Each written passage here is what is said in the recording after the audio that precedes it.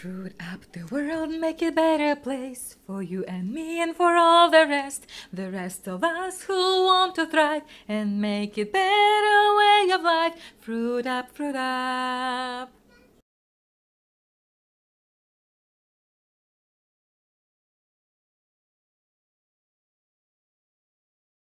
Fruit up, fruit up. Welcome to Sasha Soul Studio. Today is day 22, 22, 22. Love this number. Um, my mom was born February 22nd. My daughter was born October 22nd. Love, love, love this number. 2 2. Um, today we're talking about motivation. How to stay motivated. Well, I personally don't have any tricks for how to actually stay motivated. I think really you can't artificially stay motivated. Nobody can you no, nobody can motivate you from outside. You either have motivation or not. Motivation comes from from the world word motive. So it's got to be a motive that you believe in that you want to achieve in order to have the motivation. Um, so you can't make it up. You can't Mm, um, and you can't um, kind of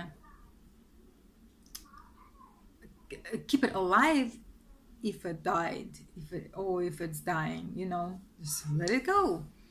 Um, maybe revise your purpose whatever. Maybe maybe you had the wrong aim. Maybe you had the wrong um, idea of why you should be doing this. Whatever it is you're doing and you lost the motivation from. If you lost the motivation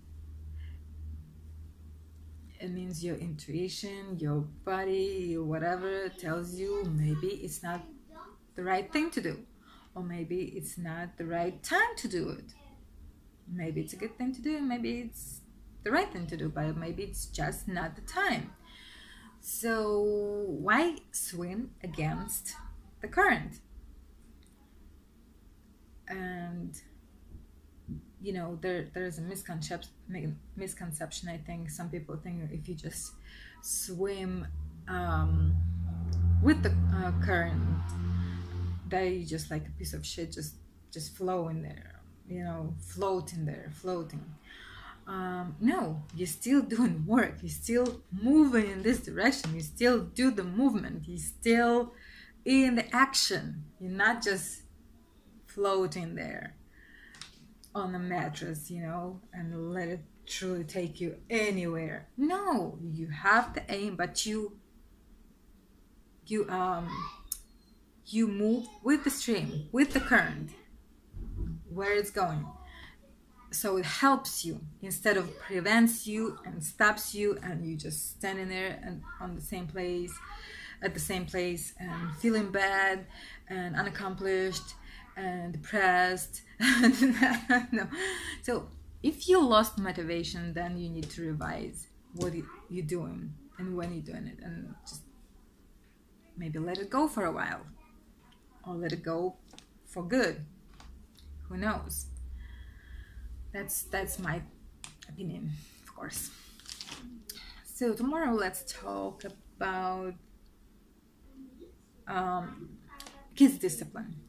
How do you discipline can how do you discipline kids? Do you need to discipline kids? Should we uh, what, in what way?